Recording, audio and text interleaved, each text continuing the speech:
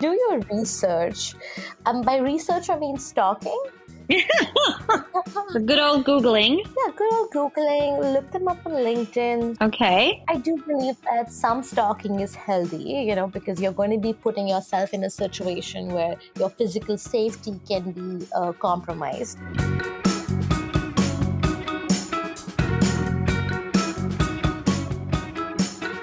Why go out and meet people when you can swipe through a sea of potential partners from the comfort of your own couch? Today, we'll talk to a guest who says that online apps don't deserve their bad rep. She's even going to tell us why a little ghosting shouldn't scare anyone off and why she prefers to look for love online instead of in person.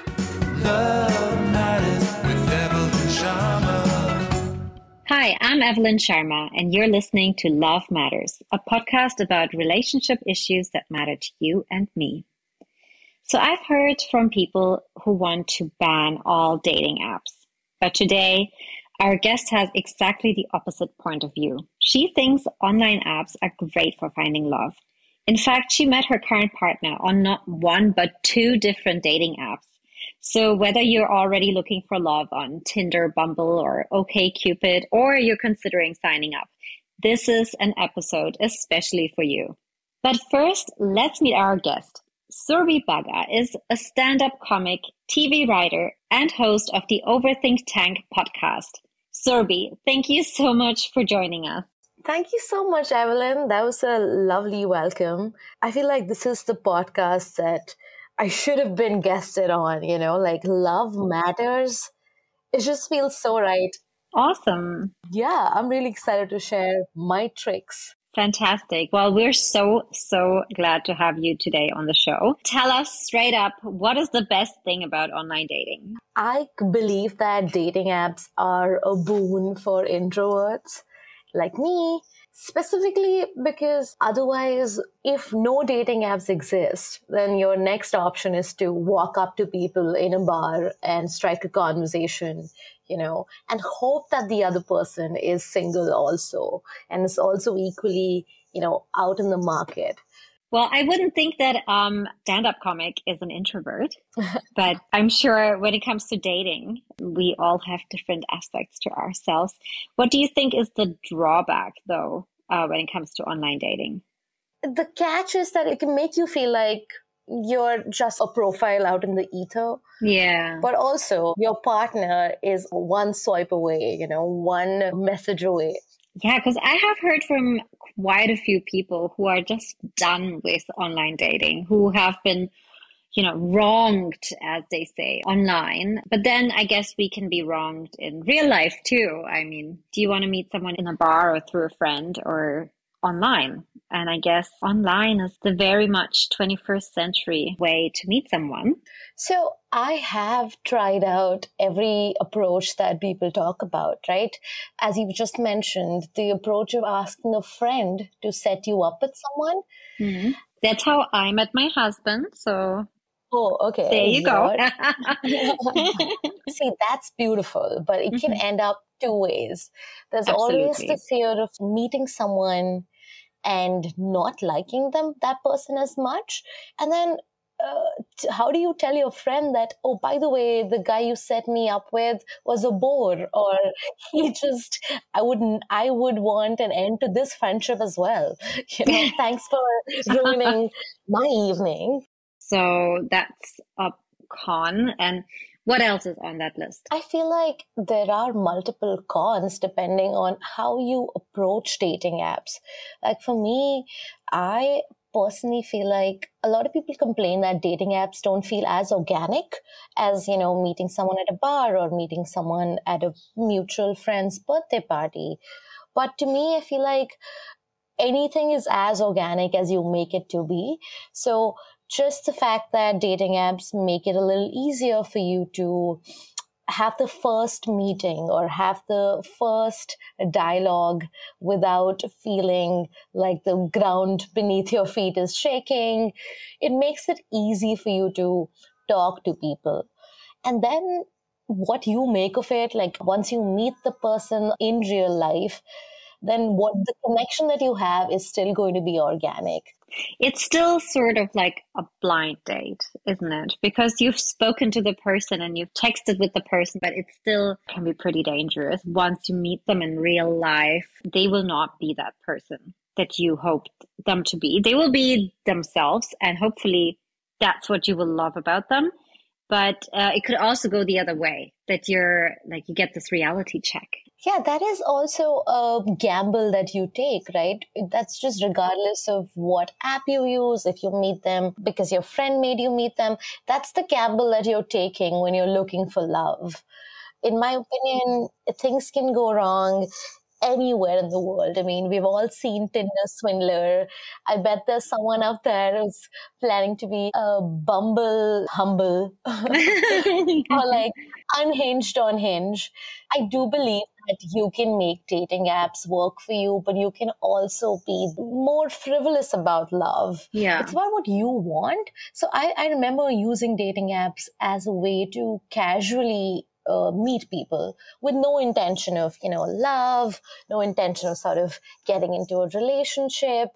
So as long as you are clear about what you want and you're not here to waste anybody else's time or your own time, I think that is what sort of brings the maturity. Even in a dating app, you can be mature about, you know, what you're seeking and there's going to be a lot of people who are going to like hurt you unintentionally or intentionally. What if you don't know what you want? And you're just browsing the catalog. Well, that's also, I think, something that you can be you can be open about. You can just be like, I have never been on a dating app. So I'm just exploring my options, just seeing what's out there. And um, yeah, just knowing, even if you don't know what you want, knowing that you don't know what you want is good enough. It's a good start. That's true. You have to look at it as a ratio game, right? Where every 20 dates you go to, one of the person might be the person that, you know, you have a connection with. So basically you have to have fun with it. You have to enjoy dating apps as something that you just can't take too serious. I guess there there's a lot of fun to be had on uh, dating apps. What's one of the most hilarious experiences that you had? I went on a date with this guy who seemed amazing on text, you know, mm. seemed like a fun person, seemed like someone I could have a drink with and then see where it goes. And then he showed up in his uh, shorts and his mm-hmm. bathroom slippers almost what? to the bar. Literally five minutes into the date, I was like, okay, um, I can only uh, down this one beer and then I have to be out. So the date went well in in his own right. He was being, I think, open about his job. But in my opinion, I think I, mm-hmm. I have never heard someone talk about crypto for 45 minutes at length. Oh my. You could talk to me about crypto for like three hours. I still would not get it. yeah, he's a typical crypto boy. And honestly, just read the room. Check in with your um, date see if they have anything to share mm. instead of hmm. just going on and on about your job. So that's something I have. I, I mean, luckily for me, I don't have to go on any more dates because I have found someone. right. Let's talk about that. How did you meet your partner? Okay. My current partner, he was on a dating app. I met him on Bumble first and we swiped. Like we matched with each other and we started texting for a week and uh, out of nowhere, obviously, the second wave of the pandemic hit us in the face. It was just a lot. So I personally just felt very like, how could I be on a dating app looking for love when the world around me is looking for hospital beds and you know there's there's crisis everywhere. Mm. I just felt that dating apps were really frivolous, and uh, for me, in that moment, I immediately uninstalled the dating app I was on. I just, I know that it made me sort of like a ghoster because I didn't text anybody. I just didn't have the energy of like, you know, talking to people because on dating apps, first of all, you know, you have to really, the talking stage is the hardest one because that's when you're really opening up about what you do and la la la la la, what I like doing, where do I hang, what do I do in my free time. Mm. And if you're not in the right mental space, then it can get very sort of depressing to be talking about all that stuff. And on the other hand of the dating app, you're feeling like shit and you're feeling like none of this is going to matter, right? Like especially when there's so much other health anxiety on your mind. So I completely ghosted my partner the first time I started talking to him. Uh, but like exactly a year later, I'd taken some therapy. That's always good. Yeah, that's always good. Comes in handy. So I was back on another dating app, swiping away, feeling myself, feeling like, okay, cool, the world's back on. Let me give this a shot again. Boom. I find the person I was talking to exactly one year ago. And immediately I, I swiped back at him and I was like, hey, the sequel. Uh, the sequel's always better than the first part. So I said, let's immediately catch up. I was like, um, you know, the weekend's right here. Meet me for a coffee. Coffee's always a safe bet because uh, by the time the coffee cools, uh, I'll know if this this has any potential. Hmm. So uh, so I went for a coffee date.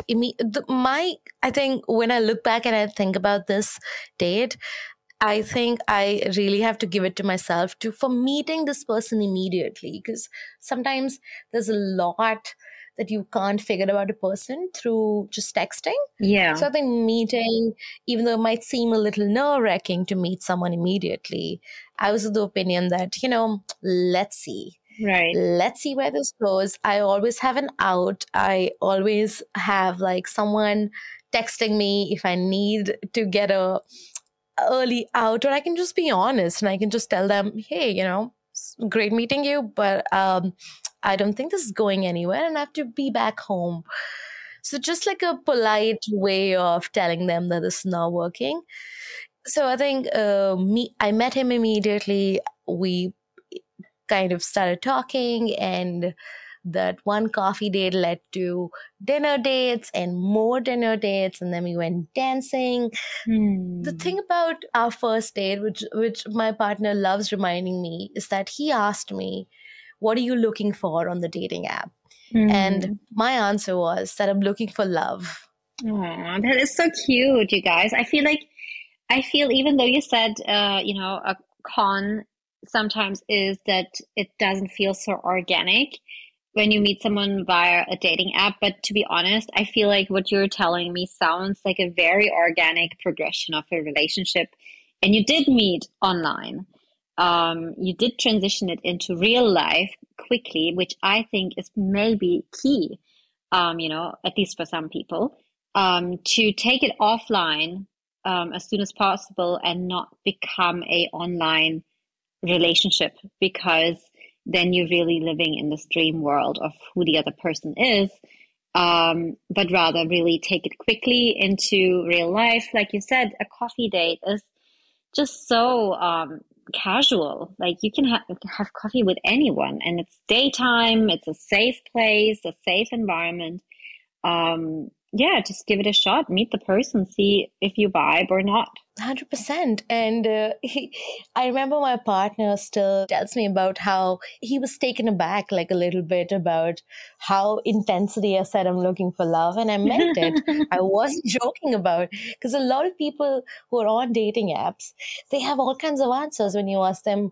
why you here? What's your purpose? And Yeah, yeah. some people might just say oh i'm looking for you know friends or i'm Mm. looking to just um, hang out with new people Mm. and not a lot of people say that I'm looking for love. But Mm. I'd reached that point in my personal life where I was like, okay, I know what I want. Then why can't I just say it out loud? It won't make me a smaller person, right? Yeah. It's just, I feel like some of us feel kind of ashamed of the fact that we need love, which is so silly. Like, why do we look down on the fact that you need to feel loved just like everybody else? And why does it give out like desperate energy to say that I'm looking for love? And I feel like a lot of times when you say what you want, you actually then receive that. It's really funny because sometimes you just have to be really honest and say what your heart desires and and the other person then knows what to give to you. That's right. That's so true. Where like all our lives they've been told to sort of, you know, hide your true interest and keep them to yourself. Whatever you really want, just don't say it out loud. Mm. But the feeling of freedom that you get by saying exactly what you want, that is something else, you know? And I think like I could have been in so many good relationships or just friendships. Like mutually agreed upon friendships are better than one sided love affairs. Yeah. Because I was in a relationship thinking that, okay, I want love, but I wouldn't say it out loud. And the other person has no idea that I want love. The other person's like, okay, we're, we're casually hooking up and i'm treating him like my boyfriend but he's treating me his like his one of his casual you know. I know what you mean. Yeah it's all about communication and actually you know it requires bravery to say what your heart desires because you put yourself out there vulnerably um, and you can be hurt by someone else not giving that to you. And uh, that hurts when they they knew exactly what you wanted and they didn't give it to you. But it also shows you who the other person is and whether they are the right person to have this uh, place in your life or not. Yeah. Well, on the podcast, we always have an info box related to the topic. So why don't we quickly have a listen into today's info box? Ooh, let's go for it. Love matters. According to a survey conducted by YouGov in 2021, around 44% of Indians have used a dating app at some point in their lives. But only 26% of people on dating apps are women, says Business Insider India. Research also shows that online dating in India can be particularly challenging for women. They often face harassment from male users. As a result, many dating apps have implemented safety features to try to protect their users. Hmm, that's interesting. What do you think about that? I mean, it's definitely not shocking, but mm-hmm. the number, the 20, like, I was, I always knew that there's less women on dating apps, but it's way less. Mm. It's 26%. It's kind of shocking, honestly. Maybe they aren't trusting the men on dating apps as much. Which makes sense. I mean, men haven't really shown uh, good report cards. They're like the biggest threat to your safety. Yeah, well, online and offline, I suppose. so I guess it is a bit scary to not really know who the other person is. I also think that we need to figure out a middle point where women can feel like they can go to a date and not be you know stuck there when they clearly don't feel like it's working for them so do you have any tips for our listeners what are the top three questions that you can ask someone on a dating app so you kind of get an idea who they are before you go on the date i would say first of all, a set of three questions is not enough to know them. Yeah. So do your research. Um, by research, I mean stalking good old Googling. Yeah, good old Googling. Look them up on LinkedIn. Okay. I do believe that some stalking is healthy, you know, because you're going to be putting yourself in a situation where your physical safety can be uh, compromised. So, a basic check here and there is totally fine. So, what else to look out for? Maybe having like really old photos of you and still using them on the dating app. Like, that's been pretty weird. Yeah. Okay. What do you think is like, okay, hey, that's a red flag. Do not continue talking to this person. There's a point in the conversation where you can start like spewing hate about your ex, and that's when I'm like a little turned off. I'm like, all right, I get that you were in a relationship, but don't shit on your ex on your mm. on your first hmm. date with somebody else that feels a little weird because I feel like, okay, he's going to lead the date and on the next date, he's going to talk smack about me. That's right. But how do I protect myself, my heart, to not get broken? I guess is the question that a lot of people would ask. I think if you if you really want to do dating apps, it's a good time for you to, you know, get uh, accumulated with all the different words that there are related to the dating app world. I mean, you know, we've all heard about ghosting, but there's breadcrumbing, yeah. there's benching. Benching is when somebody is, you know, talking to you, but they're honestly just keeping you on the bench. So some of the people that you find on dating apps might be doing that to you. And knowing that this is a thing that happens can keep you at least a little safe and like a little aware. Yeah. I mean, there's always a bad apple, right? On on any app, you can meet like a douchebag on Facebook or a douchebag on any app. Or in any bar. well, I guess to sum this up, if you're looking for whatever you're looking for online, be honest about it, be transparent, in your conversations with people that you match up with. Mm-hmm. So everybody knows what they're in for if they were to go on a date with you. Be kind to each other. Don't hurt each other. Yeah. Be kind to yourself. Be kind to yourself. Yeah, that's very good. When is the time to finally delete the app? When are you done with the dating app? Um, so in my case, I deleted the dating app. I think at the two month mark when I was kind of, I'm seeing my partner and I was like, you know, I'm not actively using the dating apps because I'm I'm very much interested in pursuing this right now. Mm. So, in fact, he was the first one to delete his dating app. And um, the kind of person that he is, he wrote everybody a message, like a little text for all of his matches saying that, hello, thank you for talking with me. I have found someone I'm interested in and I'm pursuing this relationship. Hope you have a good life before he uninstalled the app, which is, which is basically good etiquette, right? Like nobody is taught this, but you know, accidentally uninstalling an app and then making the other person feel like you're being ghosted is something that happens as well. So just taking a little extra time to make the other person across the phone feel like you're also a human and so am I. And here's a little message to give you closure. Right. Or change your bio, you know. Or change your bio, or or just uh, if you if you don't want to be on a dating app, just just message everybody who you recently matched with. All the people you're breadcrumbing and all the people that you're benching at the moment, just give them a shout out. just send them a little uh, letter to each everybody's house, like hello. but I think yeah, good dating app etiquette is something that we aren't like really familiar with. So I think if that is made more normal, then everybody would behave like a like a gentleman slash woman on dating apps like it's not a playground for you to hurt someone. It's you have to be a kind person and to yourself and to the other person. Kindness is what will get you to your partner or, you know, to your whoever, just a good friend. That's a really good book to write. Online dating etiquette. I wonder if that's already there.